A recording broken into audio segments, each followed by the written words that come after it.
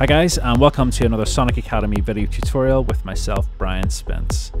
In this one we're going to be having a look at the Live 9 beginner course and this is going to be the level 1 course because um, this time round instead of just having the one very basic course we're going to have a few different levels of the Live 9 beginner to give you a, a sort of better foundation in terms of making the jump from finishing this course to going on to our more advanced or more intermediate courses on the site, such as the uh, the how to make courses and things like that. There. So we're going to be covering the same elements, such as the user interface and the session view and arrangement view, and then we'll be going on to the impulse drum machine, uh, doing arrangement, using the simpler, grouping your tracks, mixing, and then finally sort of exporting your track out. So what I'm going to do is play through the entire song itself, uh, which will be the sort of finished article in terms of the uh, the different levels. So once you've come out the other end of the entire beginner's courses, this should be what you've got sitting on your hard drive.